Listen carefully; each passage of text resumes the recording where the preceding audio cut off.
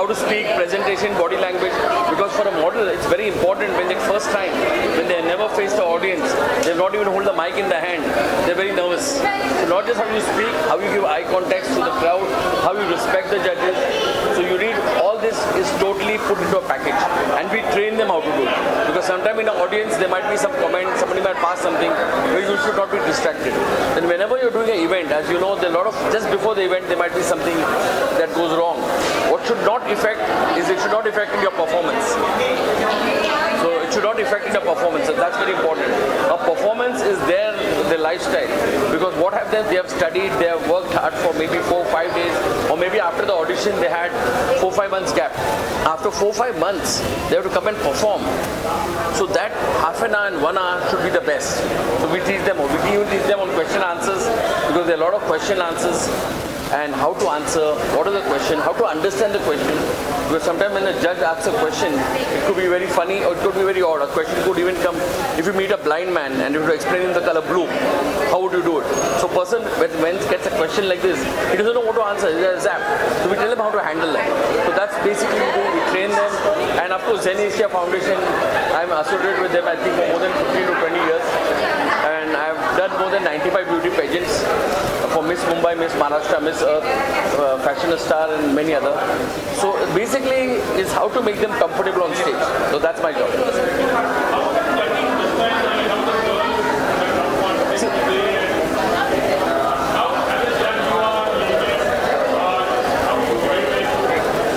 See, first of all, when I'm a judge, where am I a judge? Now, if I'm a judge in a very professional show where the models are the top in the world, or the top, uh, you know, models, then my judging becomes different.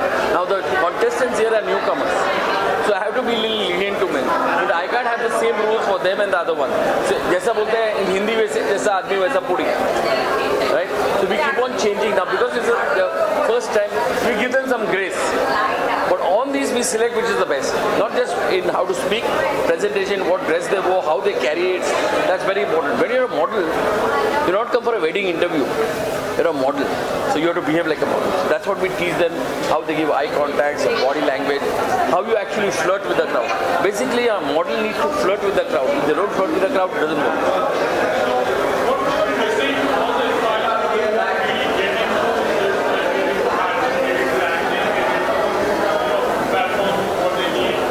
I, I think this message I don't need to give to the models, I need to give to the parents. Because our parents are a little backwards.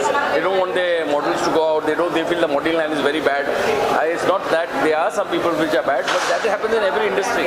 It's not necessarily only in this industry. It could be the airline, it could be a job.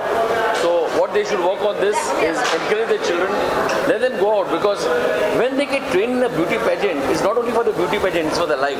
Imagine when they can come and talk on the mic. It's not only in the beauty pageant, they can talk for an interview, they can talk for an interview, they can do a seminar, they can handle a crowd. So the training which they get is the best. So this is something which is extraordinary. So I, I encourage all the parents to en- encourage the children to get into the field. Even if they don't make it top, nothing wrong, they learn something and go. What is the problem? When you get something, it's fantastic.